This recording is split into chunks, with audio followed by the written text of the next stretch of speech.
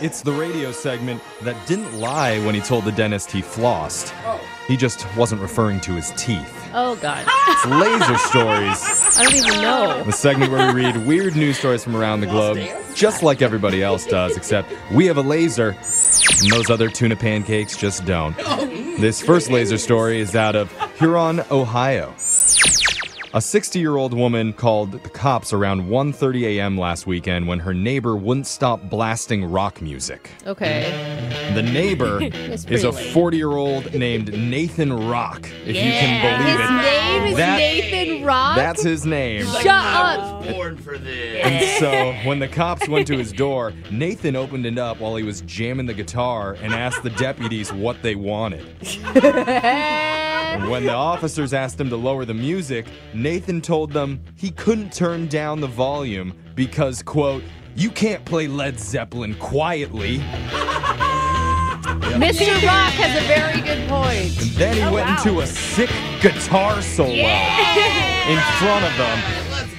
And he began singing along. So cops told him again to turn down the music, Oh, but man. Nathan said it wasn't possible because even though right now he works at Wendy's, Yeah. he told the officers he was trying to practice as he intended on booking studio time in the near oh, future Dude, Hey, you know what? good. That is a rock and roll story. because he wants to record an epic album. Yeah, he does. The cop- Aw, says Alexis. Yeah, you know, it's cute. inspiring. Oh, okay. So when guys tell you that they're in a rock band, Yeah. you still think that that's cool, Alexis? okay, when they don't relate it back to me. It's Oh, cool okay. for him. Check out my mixtape. She's like cute. Yeah. Yeah, aw, that's sweet. This next laser story is out of Mar del Plata, Argentina. About 20 couples got together at a farm over the weekend for an underground swingers party. Oh. oh All All right, that's a different type of farm than I was expecting. But they didn't have permission to hold a party with that many people during the health crisis, so the cops showed up. Oh, yeah, can't do that right now. And they just thought it was part of the show. Like, Yeah. oh, hey, you guys ordered strippers too. Let's go.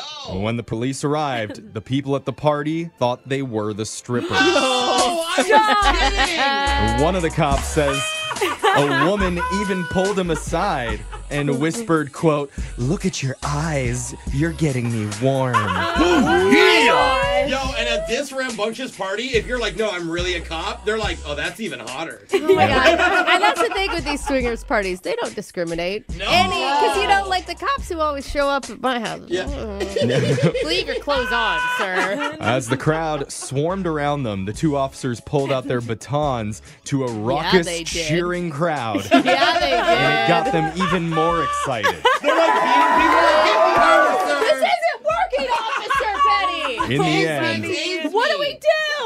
I think the patrons were finally convinced because they all received citations for oh, violating COVID protocols. And not spankings? no, That's the least sexy thing you can get as a citation. they're like, wow, you are really committing to this character.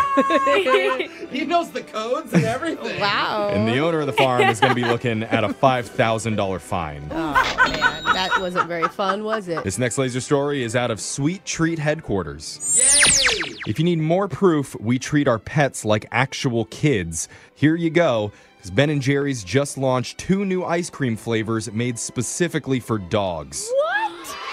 Whoa! That's so cool. Yeah, I like that. Uh-huh. They're called Doggy Desserts. And instead of dairy, they use sunflower butter as the base, so it's easier on dogs' tummies. Oh my oh, god! Oh, I god. love that. Or anyone that's lactose intolerant. You're- they make other things I'm you can yeah, I know you don't need to start getting to the dog treats. Jeez, Talk to me. Talk to Okay. me about what's in these Well, things. what it's Ben flavors and do Jerry's, they you have? guys. There's a peanut butter and pretzel called Pontch's Mix. Oh, come on. Mm. That sounds delicious. It does. Oh. It and does. a cookie and pumpkin combo called Rosie's Batch. All right, pumpkin spice. Did you say pumpkin? I told you, Alexis. But what's interesting about this one is the packaging that they went with, because it looks exactly like normal Ben and Jerry's ice cream. Oh, So just be careful when you're reaching into that freezer. Dude, anytime I buy, if I buy Ben and Jerry's, I am not sober. So this scares me. Yeah. Why That's would- so true. I Why would like- it be bad? There's nothing bad. It's not like they put like horse hooves or something in there. What? Come on, No, it's it's- some sunflower butter. I mean, I'm just saying. There's don't like they know have a ton of other flavors for humans. Yeah. If it's good enough for my dog. Okay, if it doesn't have horse hooves in it, that. Brooke will eat it. Brooke, just eat dog food. If I go to your house, there's some garbage can you everywhere. just give you me sifted dog through it. stuff? I, Ashley, our editor, made these doggy treats. Oh They- my. You, You ate them? tasted one? Oh Oh my, my god, God. Brooke. Okay, well, if- if They you were like just oatmeal and peanut oh butter. Oh my If you're like Brooke and you want to get your hands on Ben and Jerry's dog ice cream, Or it's going to hit stores now, nationwide this month. Each four ounce cup costs three dollars, or it's five bucks for a four pack. That's not too bad. That's what I'm saying. This next laser, ah, Brooke's like cheap too. this next laser story is out of Survey World. A new survey looked at how much the average person would save if they never bought snacks. Oh And my gosh. Over the course of your life, it adds up to almost 30 grand. Yeah. But I would lose all of my friendships because I'd be a terrible person that no one wanted to be around. Researchers found the average person spends $9.22 a week on snacks. Oh my God. Which seems like a pretty conservative No. estimate to me. I think so too. I don't I think agree. that's high. Dude, my no. husband gets me all the time. He's like, "Oh, you went to the work vending machine again?" I'm like, "They were pistachios." well, so $9.22 a week adds up to almost $500 a year or Okay. $29,000 over the course of your entire adult life. Wow. Worth it. Always worth it. yeah, where's the survey about how much happiness it brings us? Yeah. The survey also asked people about the weird food pairings that they would like to try, Hmm. and the number one vote getter was French fries with mayo. Oh no, you haven't tried that? I have, I've had it. Oh, I've had it at French restaurants. It's really good. It's the only way to eat French fries. Really? Oh my god, it's so good. 48% of people say they would try french fries with mayo. After that, Oh, the other top should. strange food pairings we'd like to try include steak with ketchup. Yeah. I've had it. It's Yeah. not that bad. I hate ketchup. I'm Why? sorry. Another one that was high on this list 21% want cheddar cheese on apple pie. Never tried that. I'd be open it. Oh. My favorite is pretzels dipped in sour cream. Oh, that actually doesn't Oh sound my too That god, sound it's terrible. so good, you guys. What about this okay. one? Tuna salad with hot sauce. Uh, no Oh, yeah, tuna I'm in. salad at all. I'm I in. could get. The, what, about a, what about a tuna melt? How are you making Hey. a tuna melt without a XA on the salad? tuna. Oh, I love it. I like Oh. spicy tuna. And melted chocolate on pepperoni pizza. No.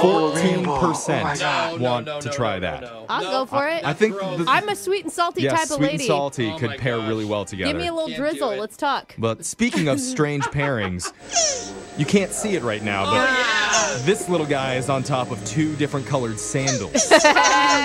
Slow down there, dude. It's getting too weird. It means the Laser Stories has come to an end for the day. We're going to do it again, same time on Friday.